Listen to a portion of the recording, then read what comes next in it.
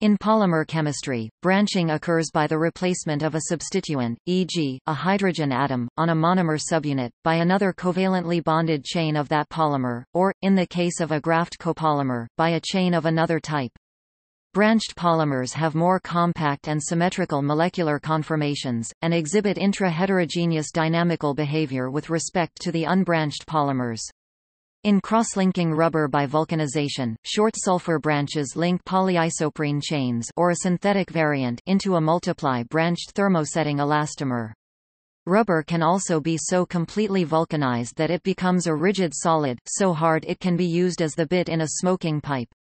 Polycarbonate chains can be cross-linked to form the hardest, most impact-resistant thermosetting plastic, used in safety glasses. Branching may result from the formation of carbon-carbon or various other types of covalent bonds. Branching by ester and amide bonds is typically by a condensation reaction, producing one molecule of water or HCl for each bond formed. Polymers which are branched but not cross-linked are generally thermoplastic. Branching sometimes occurs spontaneously during synthesis of polymers, e.g., by free radical polymerization of ethylene to form polyethylene. In fact, preventing branching to produce linear polyethylene requires special methods. Because of the way polyamides are formed, nylon would seem to be limited to unbranched, straight chains. But star Branched nylon can be produced by the condensation of dicarboxylic acids with polyamines having three or more amino groups. Branching also occurs naturally during enzymatically catalyzed polymerization of glucose to form polysaccharides such as glycogen animals, and amylopectin, a form of starch plants. The unbranched form of starch is called amylose. The ultimate in branching is a completely cross-linked network such as found in bakelite, a phenol formaldehyde thermoset resin.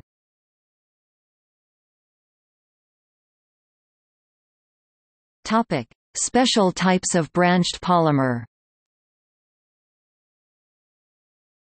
A graft polymer molecule is a branched polymer molecule in which one or more of the side chains are different, structurally or configurationally, from the main chain.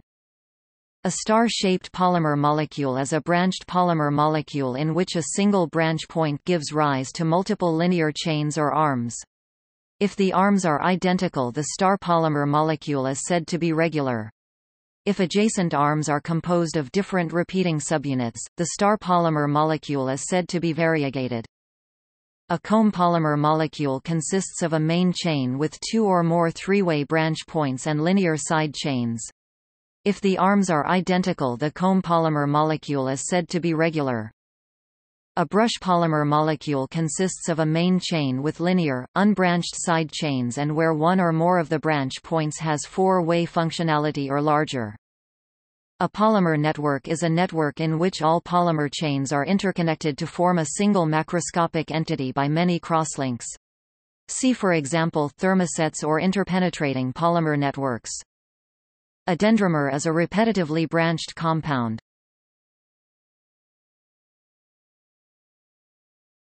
Topic: Branching in radical polymerization. In free radical polymerization, branching occurs when a chain curls back and bonds to an earlier part of the chain. When this curl breaks, it leaves small chains sprouting from the main carbon backbone.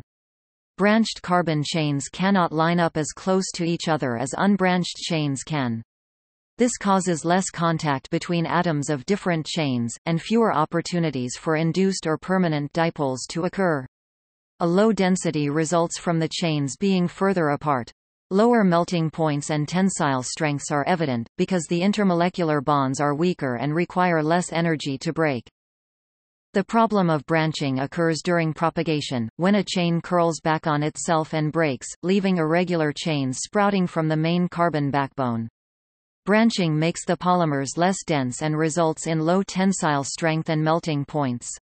Developed by Karl Ziegler and Giulio Natta in the 1950s, Ziegler-Natta catalysts triethylaluminium in the presence of a metal IV chloride largely solved this problem. Instead of a free radical reaction, the initial ethene monomer inserts between the aluminium atom and one of the ethyl groups in the catalyst. The polymer is then able to grow out from the aluminium atom and results in almost totally unbranched chains. With the new catalysts, the tacticity of the polypropene chain, the alignment of alkyl groups, was also able to be controlled. Different metal chlorides allowed the selective production of each form i.e., syndiotactic, isotactic and atactic polymer chains could be selectively created. However, there were further complications to be solved. If the Ziegler-Natta catalyst was poisoned or damaged then the chain stopped growing. Also, Ziegler-Natta monomers have to be small, and it was still impossible to control the molecular mass of the polymer chains. Again new catalysts, the metallocenes, were developed to tackle these problems. Due to their structure they have less premature chain termination and branching. Topic branching index The branching index measures the effect of long chain branches on the size of a macromolecule in solution. It is defined as G equals, where SB is the mean square radius of gyration of the branched macromolecule in a given solvent, and SL is the mean square radius of gyration of an otherwise identical linear macromolecule in the same solvent at the same temperature. A value greater than 1 indicates an increased radius of gyration due to branching.